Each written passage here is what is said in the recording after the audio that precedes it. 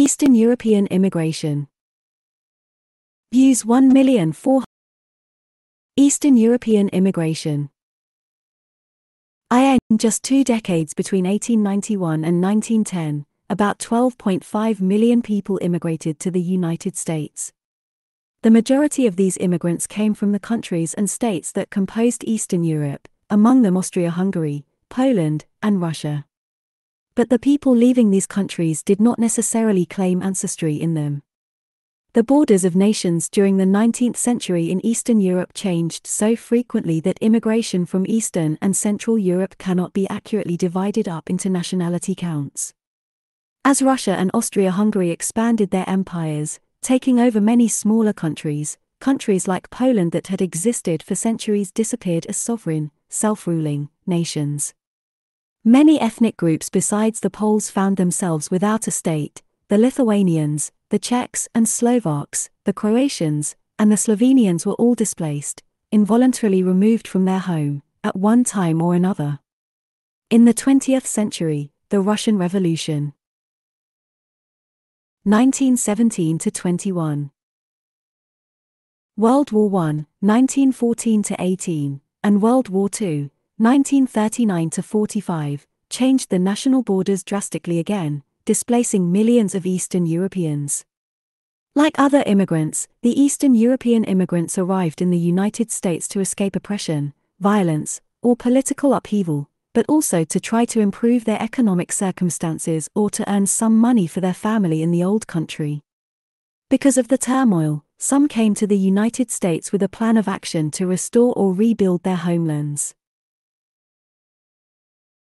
According to Roger Daniels, in Coming to America, A History of Immigration and Ethnicity in American Life, among the peoples who immigrated to the United States from Eastern Europe in the late 19th and 20th century were Albanians, Byelorussians, Bosnian Muslims, Bulgarians, Carpato-Rusins, Cossacks, Croats, Czechs, Estonians, Finns, Georgians, Gypsies, Hungarians, Jews, Latvians, Lithuanians, Macedonians, North Caucasians, Poles, Romanians, Russians, Serbs, Slovaks, Slovenes, Wends, and Ukrainians. Austria Hungary. Historical background The Austro Hungarian Empire originated with the unusually long lasting rule of a royal Austrian family, the Habsburgs, whose dynasty, a series of leaders from the same family line that rule over many generations, originated in 1282. From their Austrian kingdom, the line of Habsburg rulers expanded their holdings throughout Europe. By 1526, the central components of the kingdom were Austria, Hungary, and Bohemia, present day Czech Republic, but at various times the empire included Spain, Italy, Belgium, the Balkans, and more.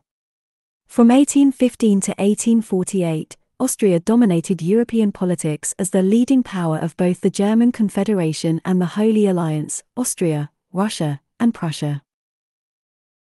In 1867, the Austrian Empire became the dual monarchy of Austria Hungary. The two states had long been joined under Habsburg rule, but the Magyar people of Hungary insisted on this arrangement in order to obtain equal rights with Austria. At this time, Austria Hungary included the present day countries of Austria, Hungary, Slovakia, and the Czech Republic, as well as parts of present day Poland, Romania, Italy, Slovenia, Croatia, Bosnia and Herzegovina, and Serbia and Montenegro. It comprised an area about the size of Texas and was inhabited by approximately 52 million people. The population was remarkably diverse. The two largest ethnic groups were the Germans, at about 10 million, and the Hungarians, at about 9 million. There were also Poles, Croats, Bosnians, Serbians, Italians, Czechs, Ruthenes, Ukrainians, Slovenes, Slovaks, and Romanians. At least 15 languages were regularly spoken, and there was a wide range of social, economic, and cultural systems. Eastern European immigration, fact focus. Between 1820 and 1920, somewhere between 3.7 and 5 million people emigrated from the Austro Hungarian Empire to the United States. The emigrants were Czechs, Slavs, Slovaks, Ukrainians, Poles, Magyars, Austrians, and others. Between 1867 and 1914 some 1,815,117 Hungarians immigrated to the United States, making up nearly half of all the emigrants from Austria-Hungary. About 400,000 Czechs arrived during that time, making up about 10% of the Austria-Hungary immigrants. After Poland was divided between Russia, Austria-Hungary, and Prussia, so many Poles came to the United States that Polish America became known as the fourth province of Poland, the other three being those areas controlled by Russia, Austria, and Prussia. In the 19th century, Russia had expanded its empire to the point that it held about one sixth of Earth's land surface at that time. In the 1930s, many Russians who had gone into exile in other European cities after the Russian Revolution felt the need to leave Europe altogether in the wake of the rising Nazi movement. More than one million people born in Russia but living elsewhere in Europe immigrated to the United States at that time. The second wave of Russian immigrants who arrived in the United States in the years after World War II, 1939 45, were confronted by the Red Scare. This wave of anti-communism became a witch hunt in which many innocent people were harassed and lost their jobs. Russian Americans felt driven to hide their ethnicity and tried to appear as much like other Americans as possible to avoid trouble, even though many of them had left their home to escape from the communist regime.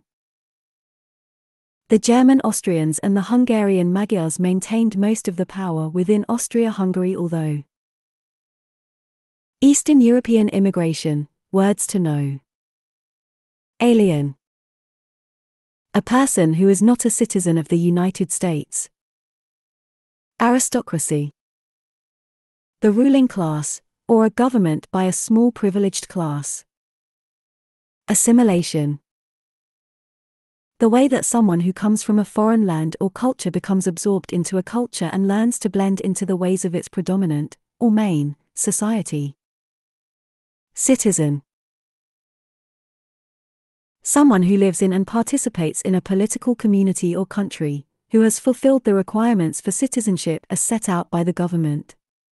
Citizens can expect certain rights and privileges from their government, such as voting or military defense, and at the same time the government has a right to expect its citizens to obey its laws. Communism An economic theory that does not include the concept of private property. Instead, the public, usually represented by the government, owns the goods and the means to produce them in common. Czar. Also spelled Tsar, the emperor or ruler of Russia. Defect. To illegally renounce one's citizenship and request residency in another country. Discrimination. Unfair treatment based on racism or other prejudices. Displacement.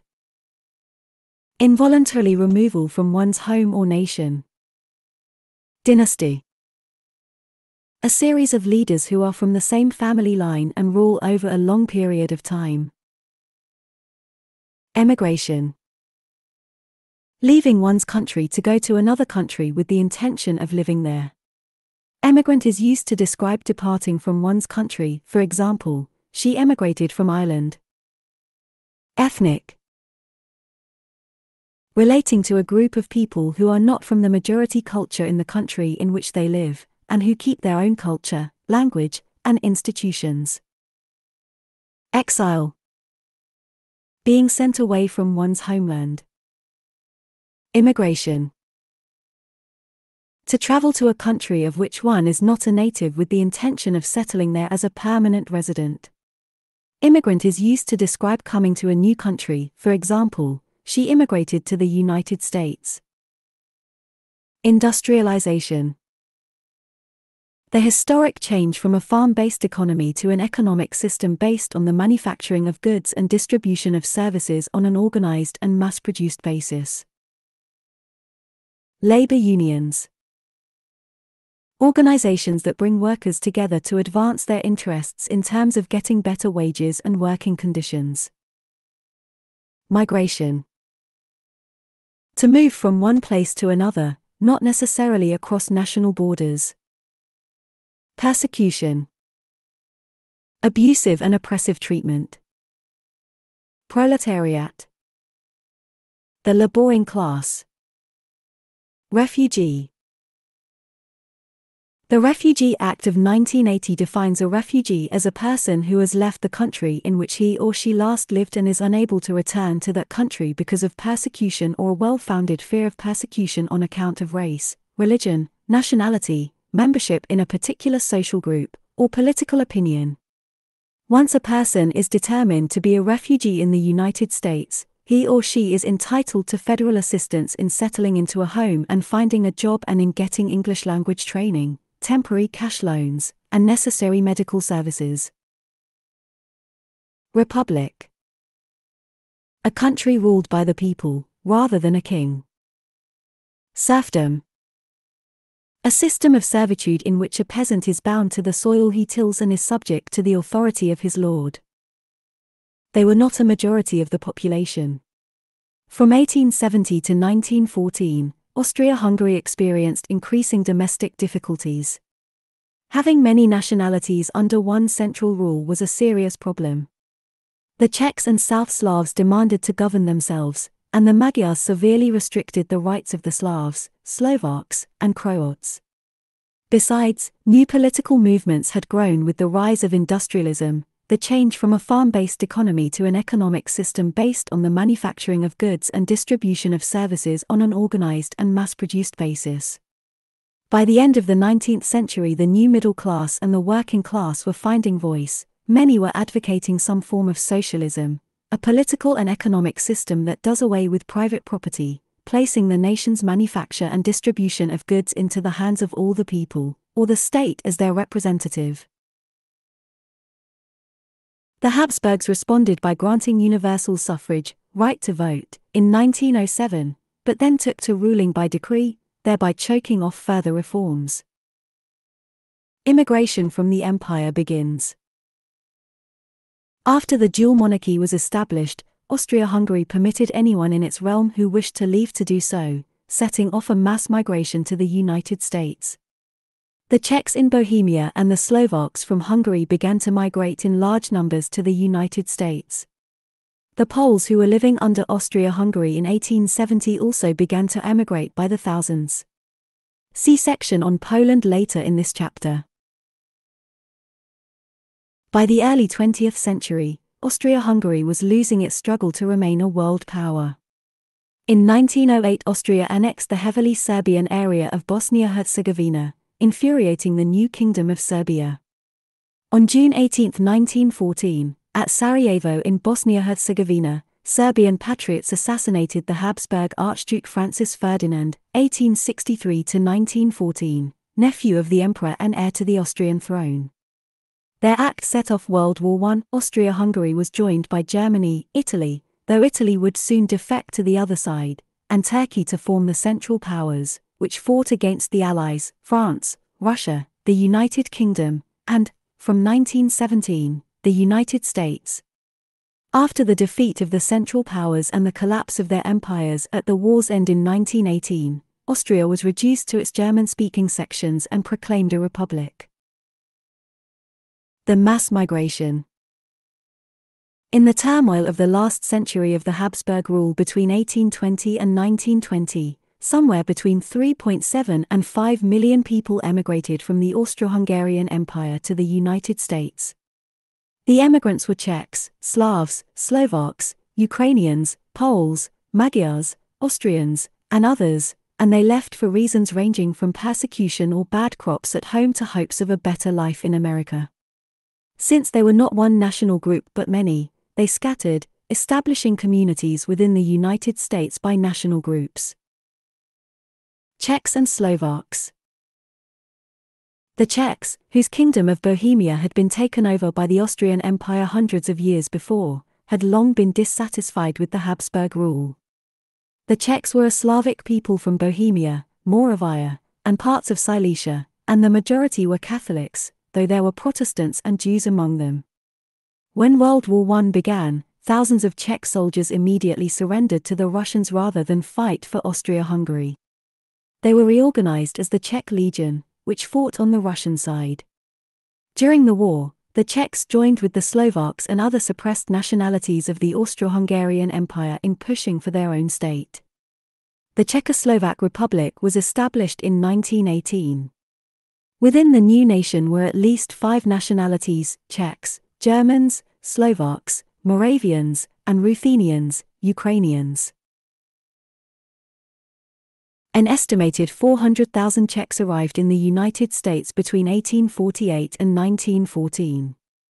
The Czechs set up urban communities in New York, Chicago, Cleveland, and St. Louis. Many Czechs headed west to establish farming communities in Iowa, Nebraska, Wisconsin, and Texas. In 1847 Czech immigrants established their first settlement in Texas at Cat Spring in Austin County. The next year, major Czech settlements were established in Wisconsin, especially in and around the city of Racine. By 1855 Czech communities had been established in Chicago, St. Louis, and New York. In 1856 New York became the home of the first U.S. school teaching the Czech language and history. Czech newspapers were established in several of the new communities. The Czechs generally strove to preserve their culture and language. In many of the towns where they settled, little English was spoken. The Slovaks in Hungary immigrated to the United States in large numbers. They had been oppressed by the Magyars in Hungary and most wished to escape from the tyranny. They also migrated to improve their circumstances. Most Slovaks who immigrated did not have professional skills appropriate to the US economy and took work in the coal mines and in the steel mills. After World War II, Czechoslovakia became a Soviet ruled nation. After the collapse of the Soviet Union in 1989, the Slovaks and the Czechs decided to separate. In 1993, they became the Czech Republic and the Slovak Republic. Slovakia has had economic difficulties in connection with modernizing and industrializing since the end of the Soviet rule. The United States has the largest community of Czechs, outside of their homeland, in the world. In 2000, the U.S. Census reported 1,262,527 persons of Czech ethnicity and 441,403 persons listed as Czechoslovakian living in the United States. Hungarian Americans. The first small wave of Hungarians arrived in the United States from 1849 to 1851. The incoming immigrants consisted of about 4,000 of the rebels who had led a successful revolution in Austria Hungary in 1848 but were then defeated by Austria in 1849. Although the total Hungarian American population was still only about 4,000 by the time of the American Civil War, 1861-65, some 800 Hungarian Americans served in the Union Army, fighting for the North, and a much smaller number in the Confederate Army, fighting for the South. Of the 800 Union soldiers, almost 100 became high ranking officers.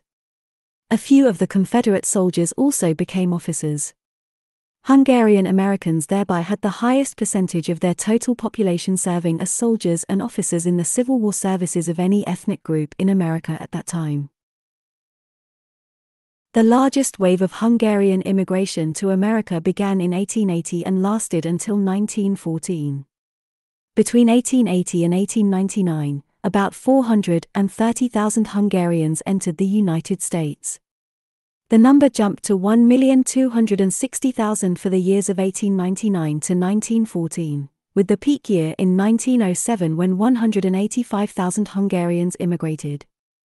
Hungarians made up nearly half of all the emigrants from Austria-Hungary, at a total of about 1,815,117 emigrants from 1867 to 1914. Most of the immigrants in this wave were young peasant men who hoped to earn enough money in the United States to return to Hungary and set themselves up in better circumstances there. An estimated 20% of the immigrants actually did return to Hungary, but the rest settled permanently in the United States. Although the majority of Hungarian immigrants had been farmers in Hungary, few took up farming in America. Their goal was to earn money quickly, and the best place to do that was in the industrial centers of the Northeast and Midwest. They took low paying, menial jobs that no one else wanted. Many of the jobs were dangerous, such as mining or working in iron and steel mills. Serious injuries and deaths were common. Because most of the immigrants were hoping to return to Hungary in the near future, they saved as much of their earnings as possible. They took lodgings in inexpensive, slum boarding houses that were overcrowded, filthy, and often crawling with rats and other vermin. Despite their concentration in selected U.S. cities, Hungarian Americans did not create little Hungaries during this first major wave of immigration. The young men were not interested in settling down, so they did not buy houses or establish neighborhoods. Instead, they moved from job to job, boarding house to boarding house, waiting for the day when they could return to Hungary. They did organize a number of insurance, or sick benefit, societies to help care for each other. Other cultural, social, religious, and political Hungarian American societies sprang up in the late 1800s, but they remained fragmented local efforts until 1906 when the American Hungarian Federation, AHF, was founded. A national organization, the AHF still exists today. With the beginning of World War I in Europe in 1914, Hungarian immigration to the United States halted. As Hungary and the United States were on opposing sides of the war, Hungarian Americans found themselves in a difficult position, caught between their ties to Hungary and loyalty to their new home. At first, they continued to show allegiance to Hungary, but once the United States officially entered the war in 1917, Hungarian Americans felt it necessary to make a show of allegiance to America. Though most Hungarian Americans still sympathized with Hungary, they began to celebrate American holidays and hold loyalty parades in order to escape harassment in the United States. At the end of World War I, Hungary was divided into a number of smaller states, ruled by foreign powers. Hungarian Americans who had intended to return to Hungary suddenly found themselves without a homeland. Many had not yet become American citizens because of their intention to return to Hungary, but the Hungary they had known no longer existed. Many Hungarian Americans shifted from temporary U.S. residency to permanent residency. They moved out of the miserable boarding houses and bought homes. Little Hungaries developed on the outskirts of cities. Immigrants who had clung to their Hungarian ways now began to be assimilated, to become similar enough to be absorbed as one of the predominant society, into mainstream American culture in language, dress, and other customs.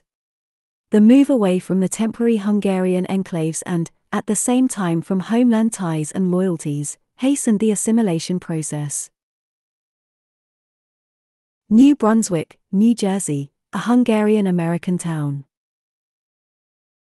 New Brunswick, New Jersey, is a small college town, home of Rutgers University, of about 50,000 people.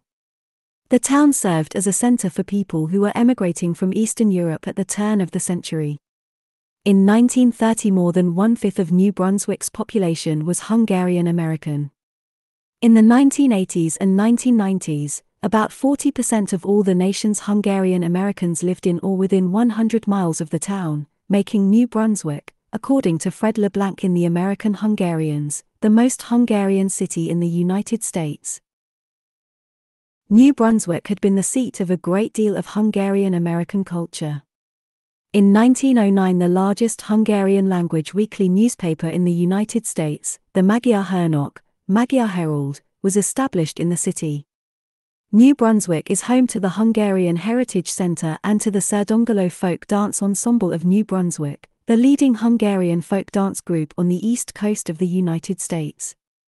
New Brunswick is also the host of an annual Hungarian festival, with traditional foods, music, and folk dancing.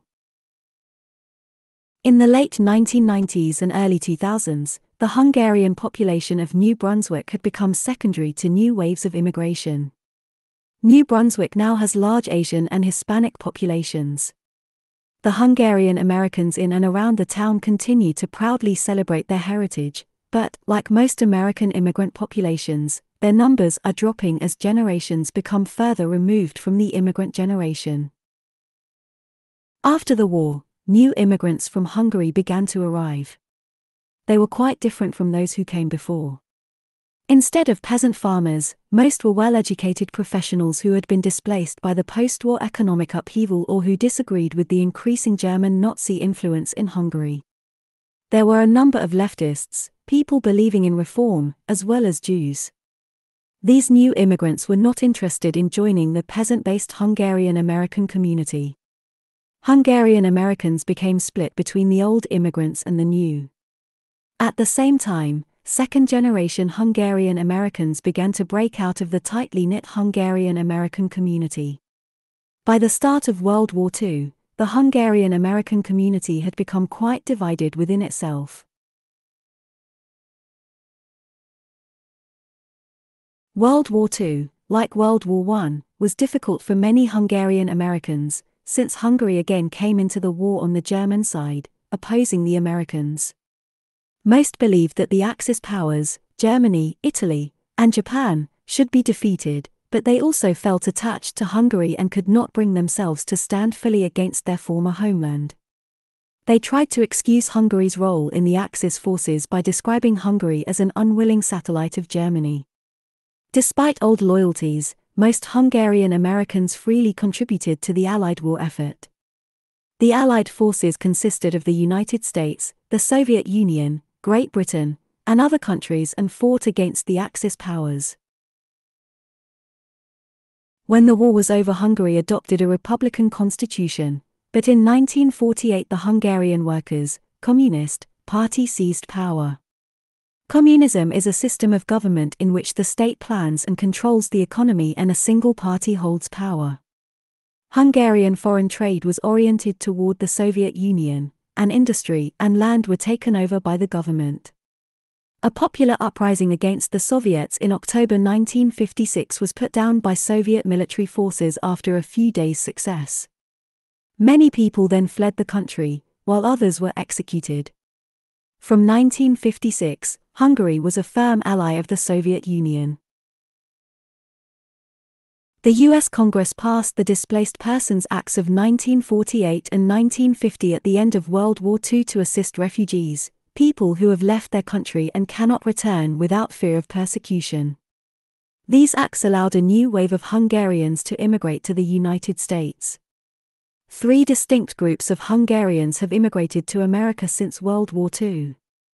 The first, referred to as the 45 ers and 47 ers, or DPS, displaced persons, consisted of right wing intellectuals, high ranking Hungarian military officers, and members of the Hungarian elite escaping the new communist regime.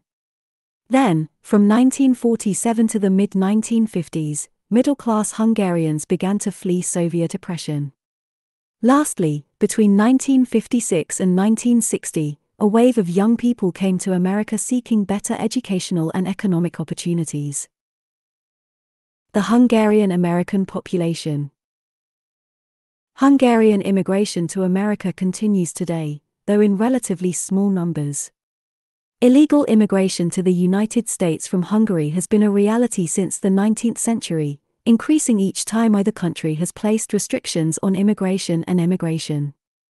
Hungarian immigrants are sometimes classified as other nationalities, owing to the multi-ethnic nature of the Hungarian population and the political division of Hungary into smaller states. Therefore, it is impossible to know the exact number of Hungarian immigrants to the United States. The 2000 census reports 1,398,724 persons of Hungarian, or Magyar, ancestry.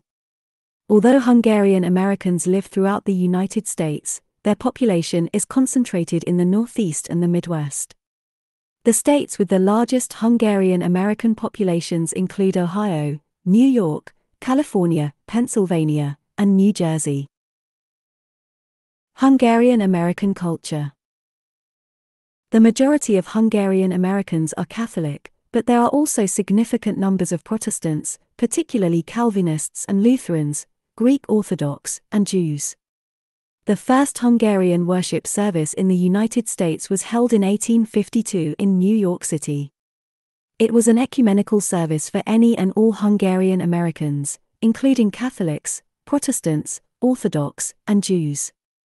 This ecumenical spirit is still evident in certain Hungarian American churches, while others, such as the Calvinists, have become fractured even among themselves. Hungarian Americans today remain divided according to generation and time of immigration. Older Hungarian Americans from the first major wave, and some of their children, continue to hold fast to an idealized image of Hungary. The Hungarian Scouts in Exile organization promotes an idealized Hungarian nationalism among younger generations. Founded in 1945 in Germany, the Hungarian Scouts in Exile first functioned in refugee camps in Central Europe to maintain a sense of Hungarian identity and pride after World War II. Around 1950, as Hungarian refugees immigrated to the United States, the organization's center moved along with them to Garfield, New Jersey. In 1980, there were some 6,000 Hungarian scouts in 79 troops located in about a dozen countries on five continents. Around one third of those scouts and troops were in the United States. Hungarian Americans who immigrated between World Wars I and II, and those who immigrated immediately following World War II, were radicals and professionals who were forced to flee Hungary because of political and economic upheavals, the increasing influence of Nazi Germany, and the eventual communist takeover. They therefore have quite a different picture of Hungary than do the older, first wave immigrants. More recent immigrants have lived in communist dominated Hungary and so have a much less idealized vision of their former homeland that differs from both first and second wave Hungarian Americans. Hungarian Americans remain quite divided in their views of Hungary. Polish Americans Historical background The modern Republic of Poland lies in Central Europe. To the north of it is Russia, Lithuania, Belarus, and Ukraine are at its eastern border, Hungary, Slovakia, and the Czech Republic lie to its south, Germany lies to the west. These boundaries have not always been the country's borders, in fact, Poland did not exist as a nation on the map of Europe from 1795 to 1918. In the 16th century, the Polish kingdom was large and powerful and experiencing what is often called its golden age. Polish artists and scientists were producing great works and the country was enjoying peace and religious toleration while other parts of Europe were experiencing bloody conflicts between the Catholics and the Protestants. Poland and Lithuania had united through a royal marriage in 1386. During the 16th century, the Polish Lithuanian Commonwealth spread out to include Ukraine and parts of Russia. At that time, Poland's nobles made up about 10% of its population. Although Poland was a monarchy, the nobles obtained great powers, severely limiting the king's powers and calling themselves a noble democracy. They tried to govern by consensus, if everyone in the parliament could not agree on something, it would not be done. Because of this, almost no legislation passed in Poland for quite a few years. In the meantime, the democratic aspects of the government were reserved only for the gentry. About 90% of Poland's people were poor peasants, they had been forced into serfdom, system of servitude in which a peasant is bound to the soil he tills and is subject to the authority of his lord, as the nobility grew stronger. They were compelled to work for a lord, a landowner who could control almost every aspect of their lives, including where they lived, what work they did, and who they married. As the nobles undercut the power of the king and reduced the peasants to a form of slavery, Poland was severely weakened. Poland's neighbors Russia, Prussia, and Austria took advantage of the internal problems and invaded the region. They began dividing Poland among themselves beginning in 1772 by taking about one third of its territory. They partitioned it, divided it into parts, a second time in 1793. Upon the third and final partitioning of 1795, the nation of Poland ceased to exist. Austria Hungary took over Galicia, Prussia got northwestern Poland, and Russia took Ukraine and eastern and central Poland. Polish immigration to America begins. The Polish nobility were not happy with the partitioning of Poland. Under the new governments, they lost the extensive powers they had enjoyed. Starting in the 1760s, many began to emigrate. They often set up exile communities, groups of people who had fled or been sent away from their home, in European cities, trying to stir up interest in the restoration of their former country. Some of these exiles became ardent proponents of democracy, and when they heard about the American Revolution, 1775 to 83, quite a few of them traveled across the Atlantic to help the American colonists fight the British. Among these adventurous Poles was Polish statesman and military hero Tadeusz Kosciuszko, 1746 to 1817, who later returned to the United States to serve as a link between President Thomas Jefferson, 1743 to 1826, and leaders of the French Revolution. 1789 to 99. Count Kazimierz Pulaski, 1747 to 1779, who had distinguished himself defending Poland against the Russians before the partitioning, also came to fight with the rebels in the revolution. Pulaski formed his own cavalry and earned the title the father of the American cavalry before being killed in the Battle of Savannah, Georgia. Kosciuszko and Pulaski were just the beginning of a long period of Polish migration to the United States. The Poles tried repeatedly to rebel against their foreign rulers and restore Poland as a nation, but the Russians and Austrians were too strong for them. After several major uprisings in the 19th century, many members of the Polish upper class chose to escape the new oppressive governments. So many came to the United States that Polish America became known as the fourth province of Poland, the other three being those areas controlled by Russia, Austria, and Prussia, respectively. Another term for the Polish community outside of Poland is Polonia. A few groups of peasant farmers also came to America, looking for better economic opportunities. They set up Polish farming communities in places like Panna Maria, Texas, the first permanent Polish community in America, founded in 1854.